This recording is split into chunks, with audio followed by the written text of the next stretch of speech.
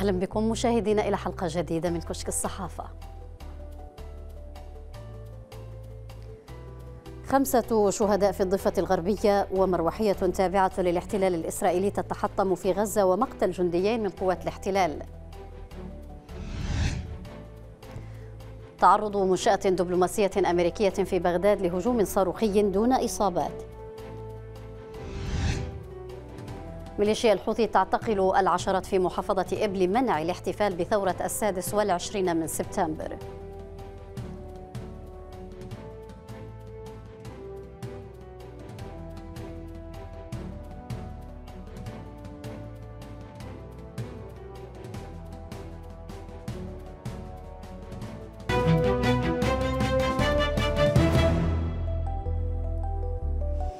بكم البداية من الأحداث المتصاعدة في الضفة الغربية حيث قتل خمسة فلسطينيين في قصف جوي إسرائيلي استهدفهم في مدينة طوباس. وقال المتحدث باسم الهلال الأحمر أحمد جبريل إن الغارات وقعت قرب مسجد التوحيد. في المدينة. قالت صحيفة العربي الجديد إن قوات الاحتلال أجبرت مئات الفلسطينيين على الخروج من منازلهم من مخيم طول كرم شمالي الضفة الغربية بهدف تحويلها لنقاط وسكنات عسكرية.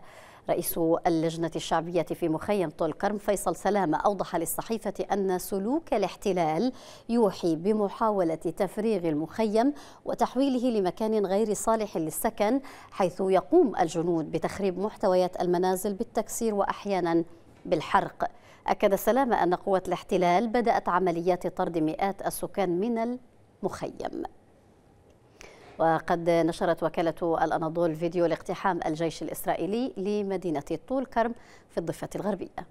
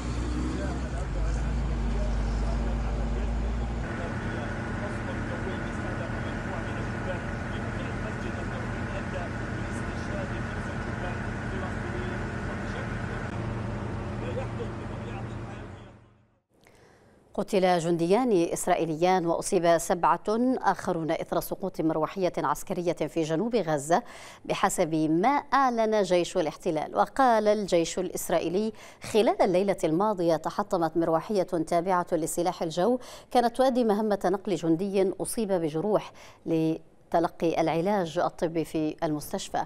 أشار الجيش الإسرائيلي في تصريح مكتوب إلى أن المروحية تحطمت في منطقة رفح خلال هبوطها وأضاف بعد التحقيق الأولي تبين أن التحطم لم ينتج عن نيران معادية لا يزال التحقيق في سبب التحطم جارياً.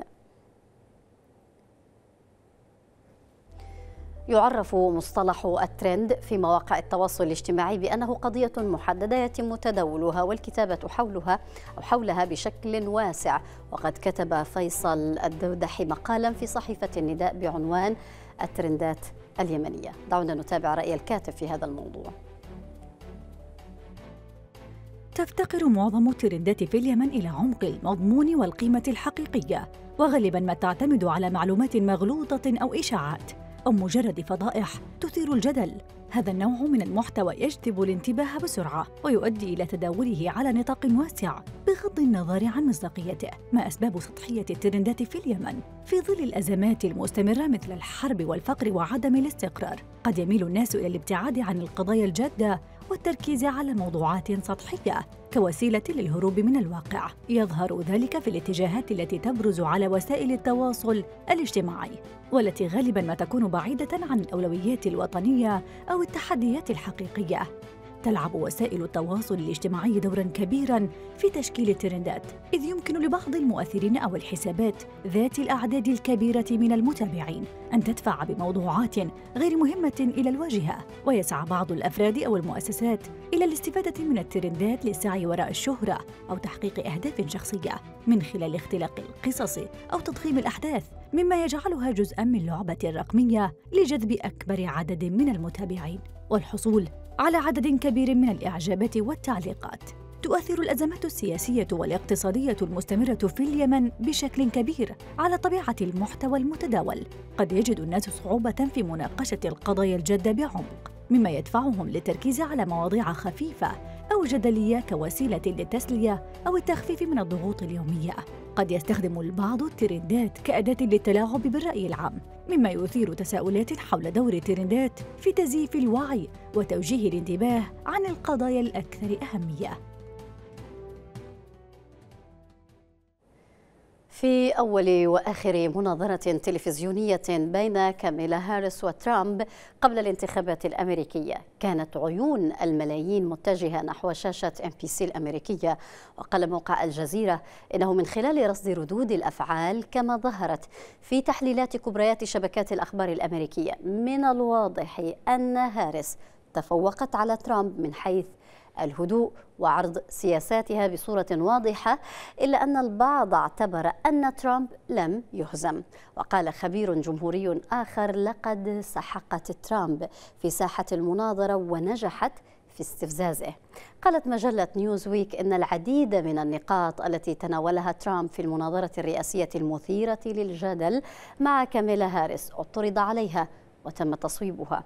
وبعد التحقيق في مدى صحة ادعاءات ترامب تبين أن ستا منها من أصل ثمان تم الاعتراض عليها كانت كاذبة وواحدة كاذبة في الغالب وواحدة صحيحة لكنها تحتاج إلى سياق.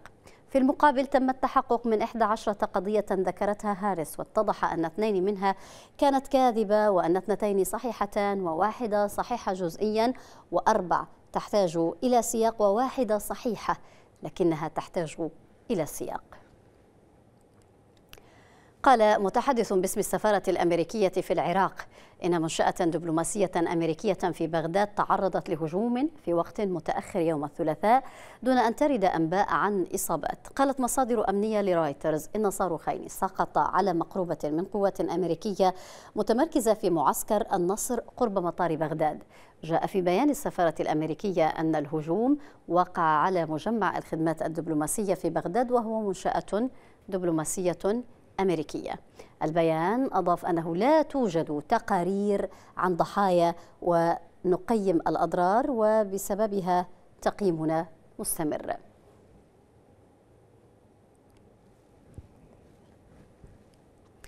بعنوان من أوباما إلى كاميلا كتب رفيق خوري مقالا حول كيف أصبح المهاجرون حكاما في الولايات المتحدة. دعونا نتابع المقال الذي جاء في موقع اندبندنت عربية. قوة الديموغرافيا وضعفها هي المصير بحسب علماء الاجتماع. وحتى رجال السياسة الذين صاروا يعطون للعامل الديموغرافي وزنا كبيرا في معاركهم. وما كان وزير الخارجية الأمريكي الراحل جورج شولتز يبالغ في التشديد على درسين للدبلوماسيين. أولهما معرفة أمريكا قبل معرفة البلد الذي يمثلون أمريكا فيه. وثانيهما التركيز على الديموغرافيا لفهم العالم والقوى التي تشكل المستقبل. تكفي الأسماء وحدها كرمز للتغيير الديموغرافي في أمريكا. من أوباما ابن والد كيني إلى كاميلا ابنة مهاجرة هندية. وحتى في بريطانيا فإن مهاجرا هنديا تولى رئاسة حكومتها ومهاجرا باكستانيا يتولى رئاسة بلدية لندن. وفي كتاب من نحن اعتبر صامويل هنتنغتون أن التحدي الوحيد الداهم والأخطر لهوية أمريكا التقليدية يأتي من الهجرة المستمرة من أمريكا اللاتينية وخصوصاً من المكسيك. ومع تكاثر أعدادهم يشعر المكسيكيون الأمريكيون أنهم مرتاحون إلى ثقافتهم الخاصة ويزدارون الثقافة الأمريكية. لكن الدنيا تغيرت فالهجرة قوة لا ضعف وأمريكا أصلاً أمة مهاجرين. ويروي أوباما في مذكراته أرض موعودة. أنه في زمن انقسام يصبح سرد القصص والأدب أكثر أهمية من ذي قبل. ونحن في حاجة إلى أن يوضح أحدنا للآخر من نحن وإلى أين نذهب؟ ونحن جئنا من كل مكان حاملين كل عناصر التعدد وهذا كان دائما وعد أمريكا. وأيضا ما يجعل أمريكا أحيانا مشاكسة مثيرة للنزاع لكن الواقع عنيد. فالتركيز على تفوق العرق الأبيض لعبة خاسرة في واقع ديموغرافي متغير. والعودة لصورة أمريكا القديمة مهمة مستحيلة. ولو ربح ترامب الانتخابات الرئاسية فلأن الربح استثنائي ومؤقت وحين تكون أمريكا قوة عظمى. لا بل القوة العظمى الوحيدة في العالم. حتى اليوم فإن المعنى الوحيد لشعار حركة ماجا نجعل أمريكا عظيمة ثانية هو الرهان على وهم العودة إلى الوراء.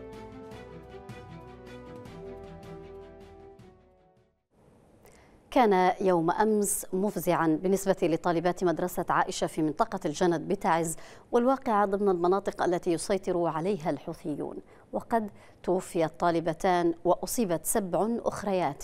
في الحادثة نتيجة التدافع الذي سببه الخوف من الانفجارات.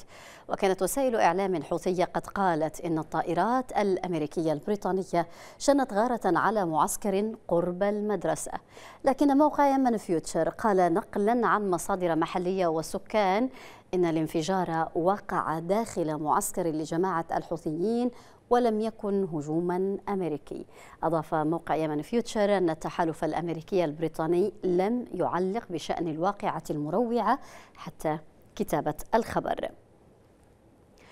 استبق الحوثيون الاحتفالات المتوقعة في الذكرى السنوية في الذكرى السنوية لثورة السادس والعشرين من سبتمبر بحملة اعتقالات شملت عشرات النشطاء من محافظة إب. نقلت الشرق الأوسط عن مصادر محلية وناشطين في المحافظة التي ينتمي إليها علي عبد المغني والذي يعد أهم قادة الثورة التي أطاحت نظام حكم الإمامة في 1962 أن الحوثيين أمروا جميع السكان بالمشاركة في احتفالات طائفية تنظمها الجماعة الأسبوع الحالي. ومع هذه الأوامر الحوثية أفادت المصادر بأن نشطاء وشبان أعلنوا بصراحة رفضهم المشاركة في احتفالات الجماعة ودعوا للاحتفال بالذكرى السنوية لثورة السادس والعشرين من سبتمبر. بحسب المصادر شن فرع جهاز الأمن والمخابرات الحوثي حملة اعتقالات طالت العشرات من المناهضين لحكمهم وفي مقدمتهم الناشط محمد الكثيري. بحسب المصادر أيضا فقد أودع المعتقلون سجن الأمن والمخابرات ومنعوا من التواصل مع أسرهم في حين تم نقل بعضهم إلى صنعاء وسط مخاوف من تعرضهم للتعذيب. بمناسبة مجيء شهر سبتمبر وهو الشهر الذي تحققت فيه الثورة ضد حكم الإمامة في اليمن عام 62 كتب زكريا الكمالي على صفحته في فيسبوك مقالا يدعو اليمنيين لمواجهة المشروع الحوثي. نتابع بعض ما جاء في المقال. تتعاظم قيمة ثورة السادس والعشرين من سبتمبر لدى اليمنيين عاما بعد آخر لكن المظاهر الاحتفالية الموسمية غير كافية لردع الإمامة الجديدة التي تطل برأسها بشكل سافر. صحيح أن الزخم السبتمبري المبكر والعفوي يبعث على الاطمئنان، إلا أن حجم الخطر الذي يتربص بأهداف ومكاسب الثورة أكبر مما يتصور البعض. هناك مؤامرة كبرى تستدعي صحوة شعبية في وجه تغول الإمامة الجديدة على مدار العام. وعدم الاكتفاء بتغيير إطارات الصور الشخصية في منصات التواصل الاجتماعي بشعارات الثورة أو ترديد الأناشيد الوطنية عبر مكبرات الصوت في باحات المدارس خلال شهر الثورة فقط. الإمامة أصبحت تجاهر بمشروعها السام دون خجل، وكما تجرأت قبل عام على تعديل الهدف الأول من أهداف الثورة في منهج التربية الوطنية، تعمل جاهدة على طمس باقي الأهداف بشكل لم يعد يخفى على أحد. كل عناوين عصر الإمامة البائدة من فقر وجهل ومرض وتمييز طبقي وغياب مواطنة. استحضرها الحوثي من جديد بعد أكثر من ستة عقود على زوالها وأضاف عليها الكثير من الطقوس والمناسبات الطائفية المستوردة. السموم التي تبثها الإمامة الجديدة يجب أن تكون جرس إنذار لكل اليمنيين على السواء. المتماهون مع الحوثي في مناطق الانقلاب.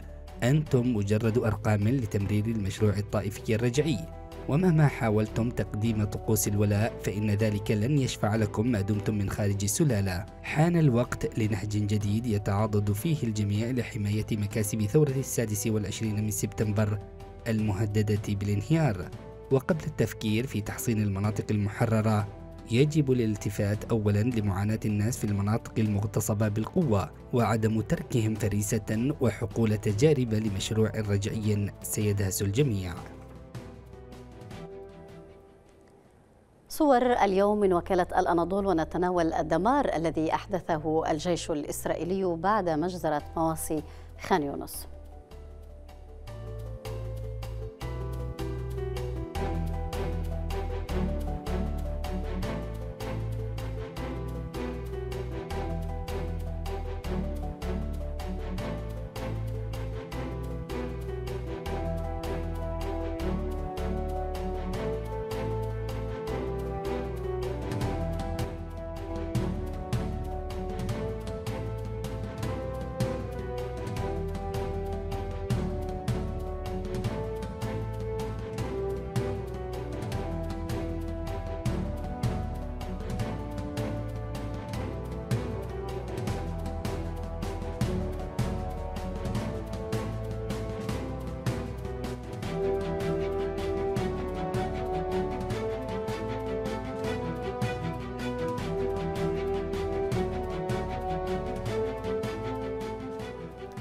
في جولتنا الأخيرة أبرز رسومات الكاريكاتير لهذا اليوم. نتابع.